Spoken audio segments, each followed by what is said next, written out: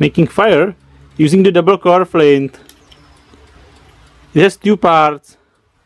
The big one is the magnesium and the small one is the ferrocerium. The magnesium doesn't make sparks. The ferrocerium does. But as the paper doesn't catch fire so, so easily, you can first scratch some pieces of magnesium onto the paper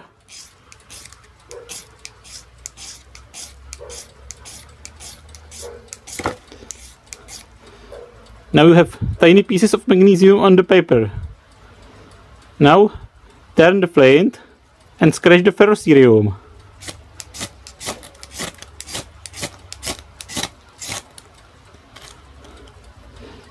The magnesium will catch fire. And then the paper will catch fire from the magnesium.